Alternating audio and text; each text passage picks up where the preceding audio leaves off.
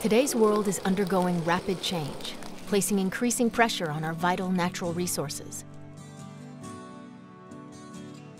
From wildlife living across our diverse countryside to fish that swim in our waters, tomorrow's healthy natural landscapes and ecosystems need our help. In the Department of Rangeland, Wildlife, and Fisheries Management, we accelerate the stewardship and conservation of our natural resources.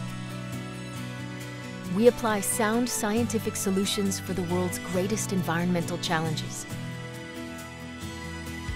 We develop leaders ready to act to implement change.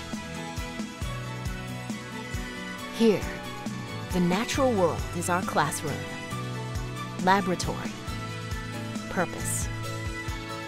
We are stewards of open space and play an active role in conserving our natural lands and waters, training the next generation of natural resource professionals to lead and serve.